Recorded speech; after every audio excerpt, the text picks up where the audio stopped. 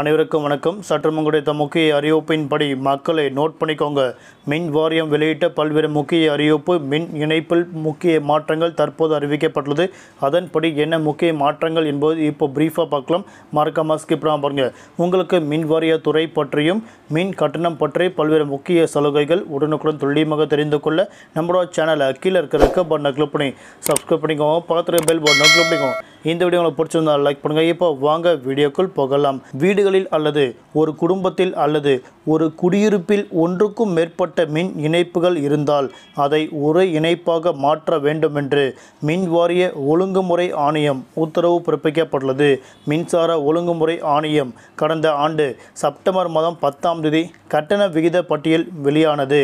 இந்த பட்டியலில் உள்ள பிரிவின்படி ஒரு வீட்டில் அல்லது ஒரு குடியிருப்பில் அல்லது ஒரு இடத்தில் இரண்டு மின் இணைப்புகளை வழங்குவது குறித்தும் ஏற்கனவே இரண்டு அல்லது அதற்கு மேற்பட்ட மின் இணைப்புகள் இருந்தால் அவற்றை இணைப்பது குறித்தும் மின் வாரியத்துக்கு அறிவுறுத்தி இருந்தது.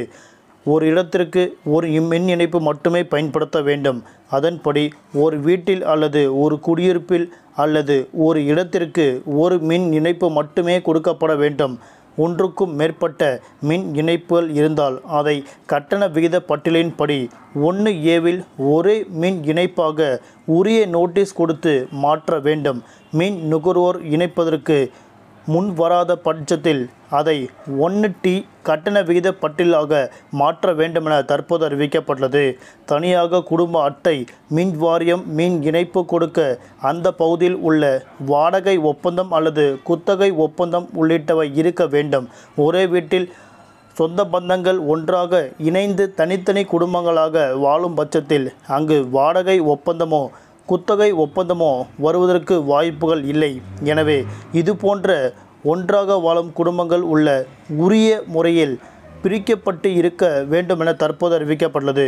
குடியிருப்பில் கூடுதலாக மின் இணைப்பு இரண்டாயிரத்தி நாலு மின் பகிர்மான விதிகளின்படி பெற்றிருந்தால் அந்த இடத்தில் தனியாக குடும்ப அட்டை இருப்பது உறுதி செய்ய வேண்டும் என தற்போது அறிவிக்கப்பட்டு வருகின்றனர் அதாவது இப்போ ரீசெண்டாக பார்த்தீங்கன்னா உங்களோட வீட்டில் வந்து நீங்கள் ஒரே ஒரு மீட்ரு மட்டும்தான் வச்சுருக்க வேண்டும்.